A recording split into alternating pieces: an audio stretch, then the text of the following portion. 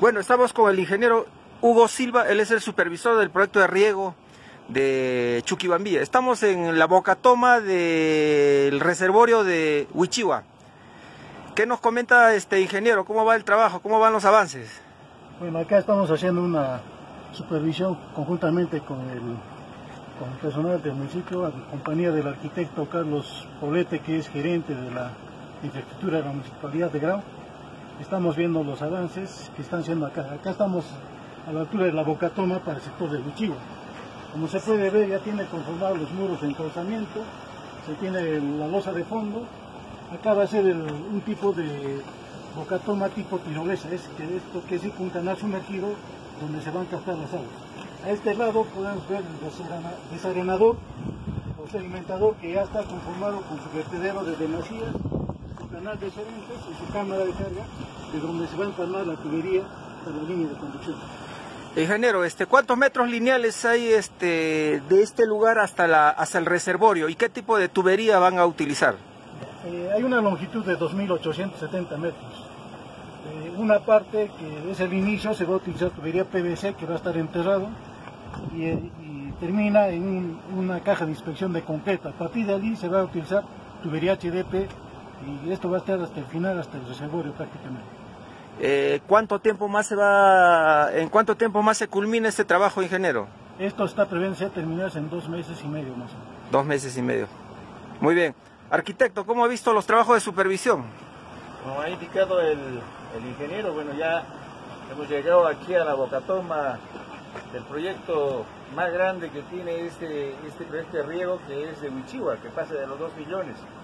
Siempre quería llegar a esa bocatoma, que estamos ahorita a una altura casi de 4.000, más de 4.000 metros de altura, donde, como explicó el supervisor, está ya avanzado eh, esta bocatoma para poder pues llevar agua hasta el reservorio y de ahí hacer la línea de distribución para el sistema de riego de Huichihua.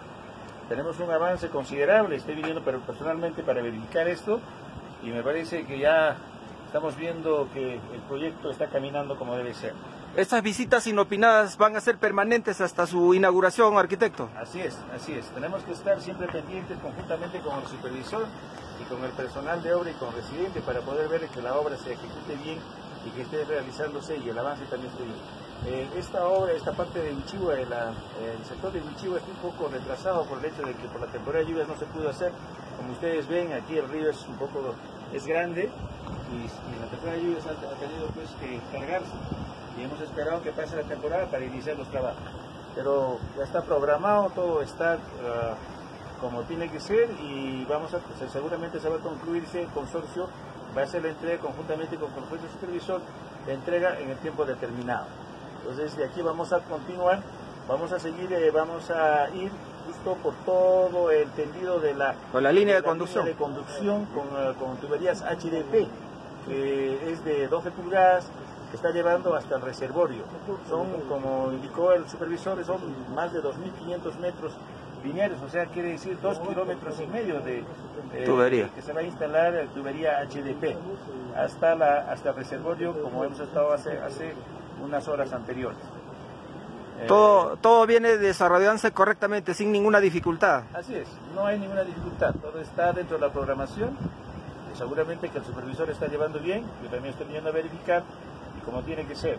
La municipalidad siempre por parte de la gerencia de infraestructura tiene que estar pendiente de que la ejecución de obras se realice como está, como, está eh, conformado o visto en el expediente técnico.